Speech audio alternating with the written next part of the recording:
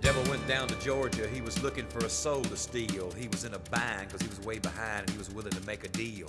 When he came across this young man sewing on a fiddle and playing it hot, and the devil jumped up on a hickory stump and said, Boy, let me tell you what. I guess you didn't know it, but I'm a fiddle player too. And if you'd care to take a dare, I'll make a bet with you. Now you played pretty good fiddle, boy, but give the devil his due. I bet a fiddle of gold against your soul, cause I think I'm better than you. The boy said, My name's Johnny, and it might be a sin, but I'll take your bet you're gonna regret, cause I'm the best as ever been.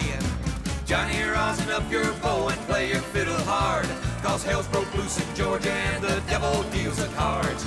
And if you win, you get this shiny fiddle made of gold, but if you lose, the devil gets your soul.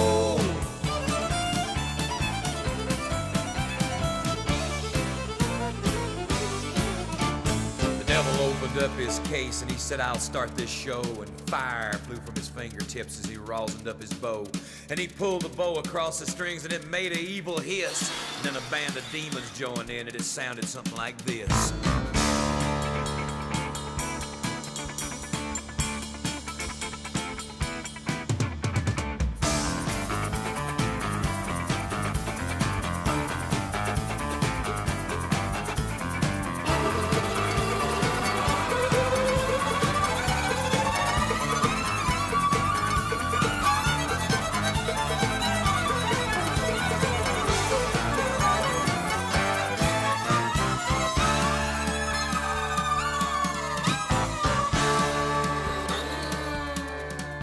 When the devil finished, Johnny said, Well, you're pretty good, old son. But sit down in that chair right there and let me show you how it's done.